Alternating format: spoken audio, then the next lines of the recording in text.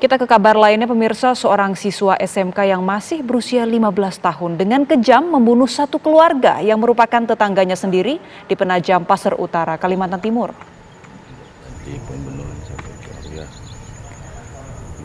Lokasi pembunuhan yang terjadi di desa Babulu Laut kini dijaga ketat oleh aparat kepolisian Polres Penajam Pasir Utara. Usai pembunuhan yang dilakukan pelaku J, Kini petugas kepolisian menjaga ketat rumah korban. Polisi juga mengamankan barang bukti kejahatan pelaku. Menurut keterangan petugas, setelah membunuh, pelaku juga menyetubuhi kedua korban.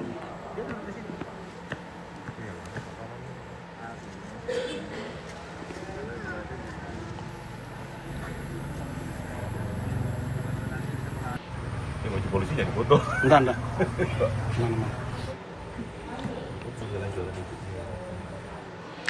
Lantas apa motif pelaku yang masih berstatus sebagai pelajar itu membunuh satu keluarga yang ternyata tetangganya sendiri? Kita tanyakan langsung kepada Kapolres Penajam Pasir Utara AKBP Suprianto. Selamat pagi, Pak Suprianto dari hasil pemeriksaan sementara sebenarnya apa motif yang melatar belakangi pelaku ini melakukan aksi kejinya? Selamat pagi Mbak Gia. Sekali lagi saya mengucapkan bela sungkawa kepada korban yang terjadi korban pembunuhan jadi motif daripada kasus pembunuhan ini adalah pertama berawal dari uh, asmara antara pelaku dengan salah satu korban sehingga hal ini terjadi. Adapun kronologis dari kejadiannya kemarin kita sudah melaksanakan rekonstruksi terkait dengan permasalahan ini. Dari hasil rekonstruksi kami bisa menggambarkan rangkaian kegiatan yang telah dilakukan oleh pelaku. Rangkaiannya adalah pada malam hari antara pelaku dengan satu rekannya sedang minuman keras, kemudian pulang ke rumah. Selesai pulang di rumah masih dalam pengaruh minuman keras e, dari pelaku ini ada niatan untuk e, memperkosa salah satu korban sehingga dari niatan itulah dia dari rumah membawa senjata tajam berupa parang dan senter untuk menyatroni rumah korban. Sebelum masuk menyatroni rumah korban, listrik dimatikan terlebih dahulu, kemudian masuk. Sesaat setelah masuk, sebelum melaksanakan kegiatannya, tiba-tiba bapaknya masuk ke rumah. Sehingga kondisi pelaku ini panik. Pada saat itulah e, korban menyanggung bapaknya ini dari dalam rumah, kemudian ditimpas. Setelah ditimpas, ada suara gaduh, ibunya bangun, kemudian setelah bangun ibunya ditimpas, kemudian anak yang pertama bangun ditimpas, anak yang kedua bangun ditimpas, dan yang terakhir anak yang yang dewasa ini bangun ditimpas kemudian. Selesai kegiatan tersebut, dari pelaku sempat melaksanakan persetubuhan terhadap uh, dua korban, baik itu ibu maupun anaknya. Setelah itu korban keluar rumah, Baik. kemudian siap. Baik Pak Suprianto, ini apakah ada pemeriksaan kejiwaan juga Pak terhadap pelaku?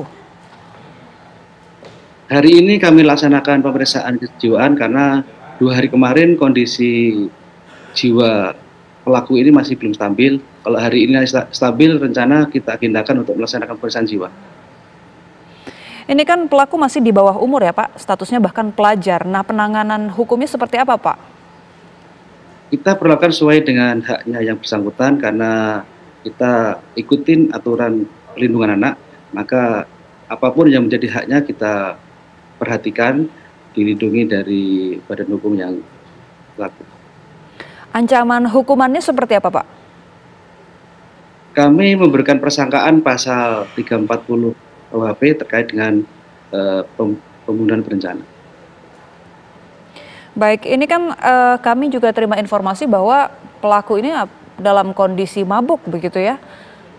Apakah itu bisa dikonfirmasi, Pak? Kami sudah konfirmasi dari saksi yang bersangkutan bersama temannya bahwa memang yang bersangkutan sebelum melaksanakan kegiatan ini sempat minuman keras. Jadi kayaknya kegiatan itu bisa dipengaruhi karena pengaruh alkohol yang ada dalam tubuhnya. Baik, Pak Suprianto tadi Bapak juga menjelaskan bahwa ini awalnya dilandasi hubungan asmara antara pelaku dengan salah satu korban. Nah, pelaku ini sebenarnya dengan uh, semua anggota keluarga, dengan ayah ibu dari kekasihnya tersebut, dengan satu keluarga tersebut, apakah memang sudah kenal dekat, kenal baik, apa atau seperti apa, Pak? Pelaku dan korban ini bertetangga, ya pastinya dia saling mengenal.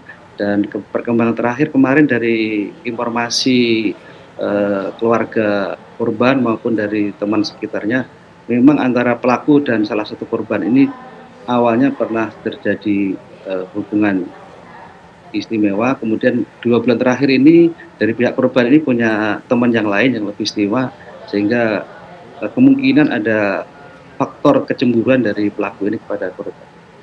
Baik, baik terima kasih AKBP Suprianto selaku Kapolres Penajam Pasir Utara atas informasi dan waktunya.